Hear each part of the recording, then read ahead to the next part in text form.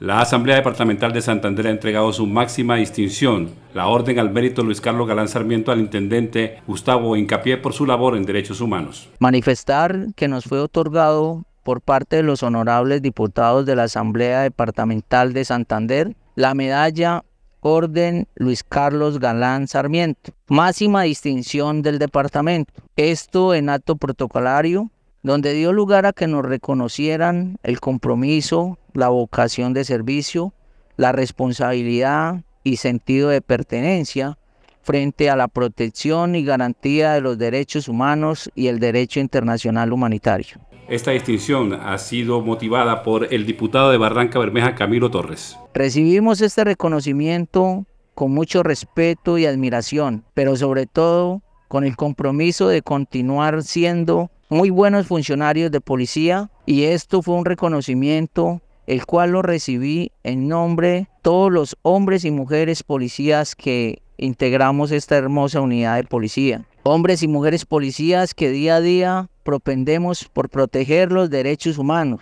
Es así que en esta hermosa ceremonia, donde reconocieron nuestro trabajo, reafirmamos nuestro compromiso de continuar trabajando de la mano con el Ministerio Público, trabajo el cual seguiremos desarrollando en busca de la garantía y la protección de la población en situación de vulnerabilidad. El intendente Gustavo Incapié también está postulado para una distinción del orden nacional en derechos humanos.